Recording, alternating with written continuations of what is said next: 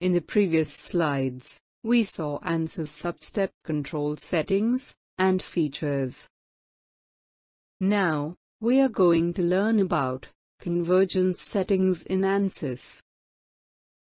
Before going to ANSYS convergence settings, it is important to revisit some of the theoretical concepts and associated practical challenges.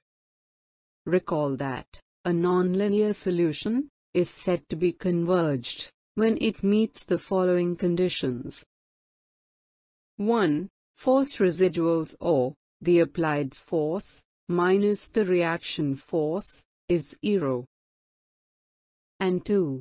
Incremental deformations, or difference between the deformations, in the two consecutive iterations, is zero.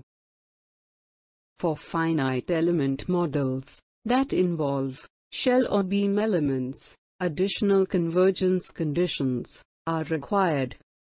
Those are as follows. 3. Moment residuals, or the applied moments, minus the reaction moments, is zero.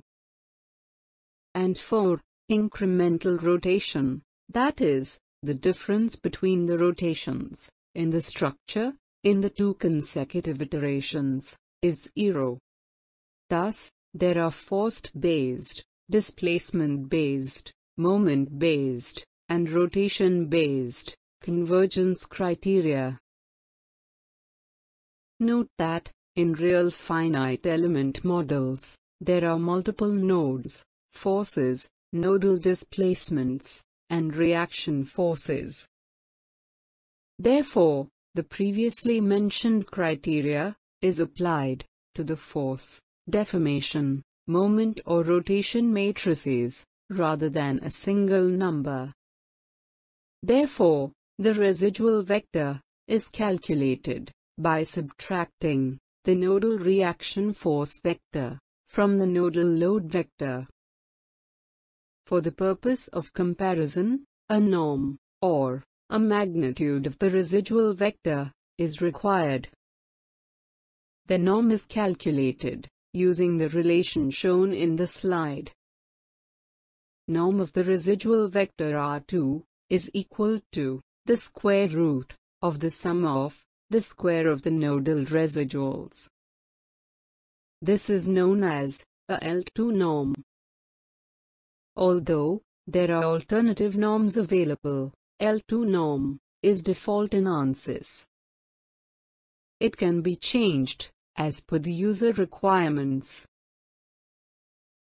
In the last slide, we saw how ANSYS, or other finite element software, calculate the norm of a residual vector to check if it is meeting the convergence criteria. Ideally, the norm value should be zero. However, in the numerical problems, it is impossible to reach the value zero. Therefore, the solution is said to be acceptable when the norm reaches a sufficiently small number. Therefore, the convergence is checked as the force residual should be less than the epsilon r times the reference force. Or, the incremental deformation should be less than the epsilon u times the reference deformation. In this case, epsilon r, or epsilon u, are the force, and the deformation convergence tolerance, respectively. ANSYS default, for these convergence tolerance, is half a percent. By default, reference force, RF, is the norm of the applied load. Similarly, reference deformation, UREF, is the absolute value of the maximum incremental deformation. In certain problems, like thermal stress, the applied load can be zero. In such cases, predefined small values are considered for a ref, This ensures that the convergence criteria will be a non-zero, but a very small number. In the last slide, we saw how a convergence criteria is set to a very small but a non-zero number. In this slide, we are going to see how it is possible to verify or change the convergence criteria. We can verify or change convergence criteria in ANSYS by going to the Details window of the Analysis settings. In the Analysis settings, if we click on the nonlinear controls, a number of options appear. The convergence controls are force convergence, moment convergence, displacement convergence, and the rotation convergence. By default, it is set to program controlled.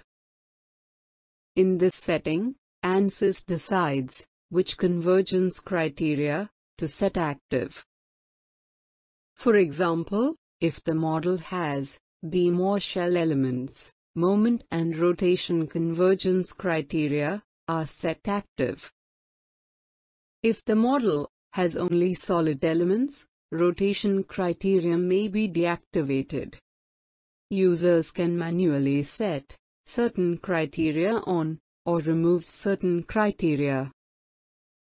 If we set certain criteria to on, tolerance and the reference value can be seen or changed as per the user requirement. Although tolerance or reference value can be altered to improve the convergence, it is not recommended as it may reduce the accuracy of the solution. The convergence tolerance and the reference values still give a very good information about the overall accuracy of the solution.